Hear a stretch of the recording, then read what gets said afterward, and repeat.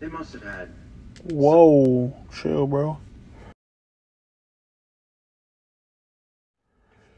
What is going on, YouTube? Welcome back to another video. This time it is of a 3D print that I did. I believe I reviewed this Deadpool on the channel already. I, if I did, I'll put a link. Uh, I'll put a card up right now. If I didn't, I don't really want to go over it, but uh, I'm just I just want to go over the 3D printed head right now. Um, I did a run. I didn't do a run, but I printed this Deadpool head. I was trying to paint it up, and I was I put a wash on it just to bring out the details, and I don't know what happened, but the wash ended up grabbing into the paint, and I was going to rub it off, and the wash peeled.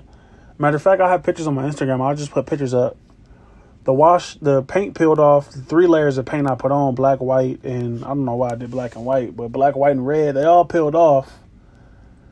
And i was left with this. So in order to fix that um i, I guess i was just gonna go battle damage. You know old customizer's trick. An old damn i did a lot of blue tack. An old customizer's trick is if it breaks or you mess it up it's battle damage. So I just made it look like his his mask was uh, not melted, but uh, let me get this tack out of here. I just made it look like his mask was ripped off or whatever. Get that out of here because I'm gonna put it on. I'm gonna put it on another thing right now so you can take a look at it. A better look at it. I need to hot glue that instead of blue tacking it. I don't really like doing leaving blue tacking like that, but should be able to see it. But yeah. Just a little battle damage. Uh, it's for it fits Mezco, but I have a Marvel Legend size I could run too. Um, I really like this this uh this head. It really looks good on a Mezco. It's crazy. That's why I want to get a regular one painted, and it came out really dirty too. So let me put these up. It came out really dirty too, so I wanted to. Um, I guess battle damage was the way to go. Get on camera with that. Let me see. Is it focused? Let me get some light down here. You see it better? Is it washed out? It's pretty washed out. I don't know what to do about my lighting situation. Every time I do a video or a review, my lighting is terrible. But yeah, just a battle damaged Mezco Wade head. Um, Deadpool. I don't know why I keep saying Wade, even though his name is Wade. The reds don't exactly match.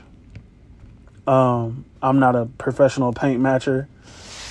But if you've never seen this figure or you're new to the channel, um, Marvel Legends boots, across the, the, the swords on the back. And what else did I do? I, I, believe I fixed.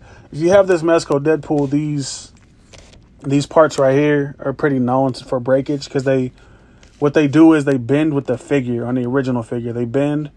They have a, a mushroom peg and they bend with the figure, but they eventually break if you do use it too much. And one of mine broke, so I modified mine. I, I uh, I just snipped off the pegs and I super glued them together, so now they just don't they don't bend with it, but if you can see, they don't need to. So just a little modification I did. I didn't modify. I usually take off the suits and modify my Mezco articulation, but with this one, one I had already glued this harness. It's not glued to the body, but this harness is all glued together right here.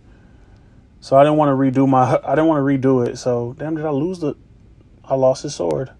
I thought it broke. It's usually broke, but I guess I lost it. I must have put it up somewhere. Damn, I lost my whole train of thought thinking about the damn sword. But yeah, um, I just wanted to show the head. The head looks really good on his body. back up a little bit. Head looks really good on his body. Um, I really like the way this came out. I got the head off Thingiverse. I don't know who uh, created it. I took it off a bust, so I don't know who created it, but I like it on my figure, so I really like it. Like I said in the previous video, um, I've been really into 3D printing, so I've been 3D printing a lot of stuff. Like I could literally pull out, let me see, wrong drawer. I could literally pull out tons and tons of 3D prints.